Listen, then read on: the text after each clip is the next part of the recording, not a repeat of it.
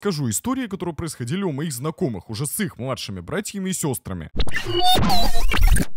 В общем, был у меня один кореш в восьмом классе, у которого было целых две младшие сестры и один брат, как вы понимаете, тоже младший. И родители были настолько строгими, что в любых ситуациях заступались именно за них. И вот однажды его младший брат, который приходил со школы раньше моего кореша, давайте кореша назовем Серега, а его младшего брата Леша. Так вот, Леша пришел домой со школы на несколько часов раньше и решил посмотреть телевизор. И так получилось, что каким-то макаром, я из рассказа Сереги так и не понял, каким, Леша этот телек сломал. Да так, что он вообще перестал включаться. А Серега, когда пришел домой, сразу этого не заметил, потому что телевизор он не смотрел. Но самый трэш был вечером. Их батя, который работал на заводе, максимально уставший приезжает домой с работы, заходит в комнату и хочет включить телевизор, но телевизор почему-то не включается. Он пытался несколько раз по телевизору треснуть, но было все безуспешно. Батя несколько минут постоял, почесал репу и подумал. Да нахуй оно мне надо, этот телевизор? Ведь у Grand Mobile вышло февральское обновление. Теперь есть интересные мини-игры на Гранд Арене, среди которых гонка вооружений со сменой оружия, как в CSGO, дерби для истинных суетологов, бой на смерть, персональные дуэли один на один и даже картинг умудрились добавить. Причем играть во все это совершенно спокойно вы можете со своими друзьями, вступив в одну комнату. У каждого игрока теперь появился свой персональный планшет, где вы можете общаться с другими игроками, управлять своими финансами, покупать дома на аукционе и много чего еще. Также для полного погружения в атмосферу автомобилям добавили поворотники, но я, как истинный владелец BMW, все равно этим пользоваться не буду. Ну а если тебе нужна новая кобылка, то в игре появился авторынок, где ты можешь максимально быстро и удобно обновить свою тачку. Ну и конечно самое интересное, это то, что ты можешь принимать участие в битвах семей. Воевать придется в основном за предприятие, ведь чем больше предприятий ты захватишь, тем выше будет рейтинг у твоей семьи, а значит бояться тебя будут больше. А также у тебя увеличится прибыль с этих предприятий. А победившая семья в конце каждой недели получает на баланс 100 тысяч игровых рублей. И в целом Grand Mobile это очень увлекательная игра, в которую ты с головой можешь окунуться в мир криминальной России. Опасные ОПГ, продажные менты, политики, крутые тачки и девочки. Все это тебя ждет в Grand Mobile. Я буду играть на новом четвертом сервере, мой ник Neomarazm. А по моему промокоду коду Маразм ты получишь 30 тысяч игровой валюты, гелик и випку на 7 дней. Так чего же ты ждешь? Прыгай по ссылочке в описании и присоединяйся.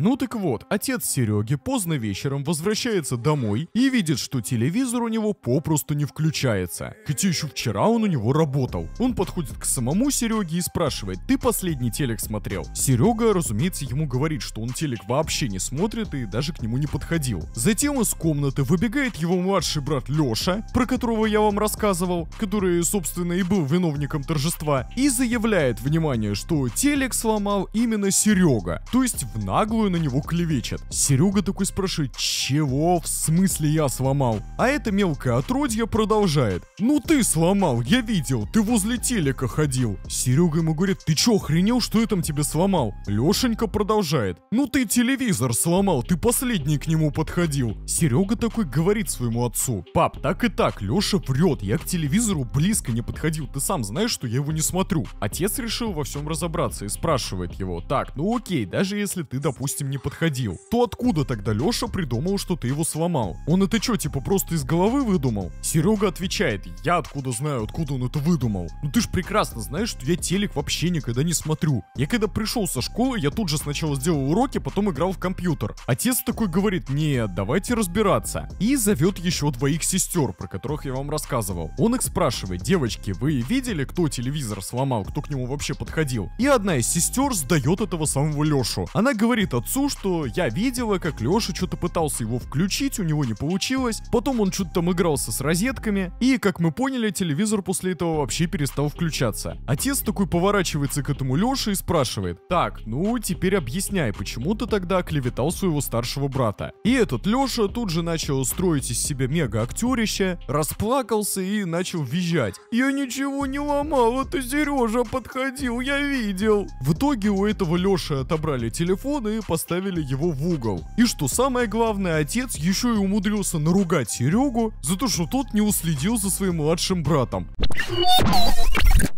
А следующая история связана с моей школьной подругой Машей. Точнее, это даже не одна история, а в целом тяжелая жизненная ситуация. Дело в том, что ее родители, мягко так сказать, не от большого ума. И проживая в двухкомнатной квартире с бабушкой, причем как бы двухкомнатные квартиры могут быть разными, бывают квартиры по 200 квадратов. Но нет, там была обычная совковая квартира квадратов 50. Так вот, проживая в двухкомнатной квартире с бабушкой, решили родить четверых детей, мать твою. При том, что бабушка работала на полставки, а зарплата у мамаши и у бати была 60 тысяч на двоих. А воспитательную функцию они возложили, знаете, на кого? Правильно на Машу, которая была старшей дочкой в семье. Ведь родители целый день на работе, поэтому за детьми должна ухаживать она. Действительно, у нее же нет там своей личной жизни, учебы, увлечений. И я бы на ее месте уже давно бы послал таких родителей в пешее экзотическое, потому что, извиняюсь, то, что вы не умеете контрацепцией пользоваться, это не означает, что другие за вас должны страдать.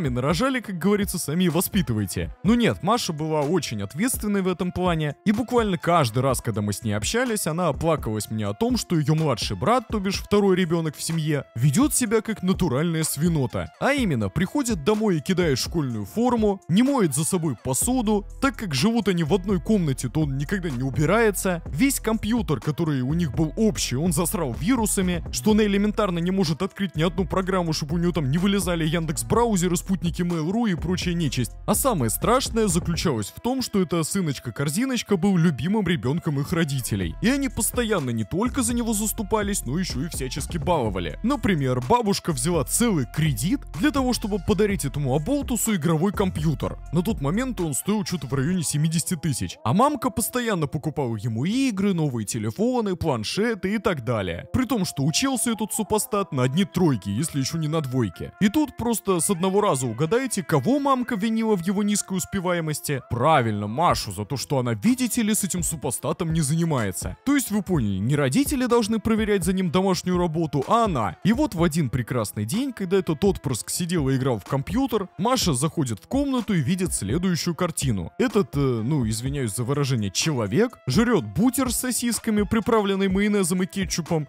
Все руки у него, разумеется, в жире, в майонезе. И этими руками он нажимает на клавиши на компьютере. Маша уже не выдерживает, подходит к нему и вырывает компьютер из розетки. Какой там начался крик, ну, с ее слов. «Да ты дура!» да ты охренела, да я тебя, в общем, вы поняли. И как вы думаете, что случилось вечером, когда родители вернулись? Правильно, что мамка, что батя, что бабулька, видимо, уже выжившие из ума находясь в таком зверинце, начали все вместе поливать грязью Машу, что она срывается на своего брата, не может найти к нему подход и так далее. В общем, слушая все эти истории, я крайне не завидовал ее жизни. Поэтому, если вы, не дай бог, оказались в такой ситуации, когда родители с 47-й хромосомой не умеющие пользоваться контрацепцией, живущие в совковой хрущевке нарожали себе ораву детей, а их воспитание пытаются спихнуть на вас, я вам могу дать только один совет. Не хотел такого говорить, но шлите нахуй таких родителей. Воспитание детей это прежде всего их обязанность, а только во вторую очередь твоя. Если у тебя действительно такие родители, то старайся как можно быстрее стать от них финансово независимым или независимой и свалить нахрен из этого зверинца. Что ж, а на этом у меня все. Ставьте лайки, подписывайтесь на канал и обязательно жмякайте на колокольцо, чтобы не пропустить мои следующие видео.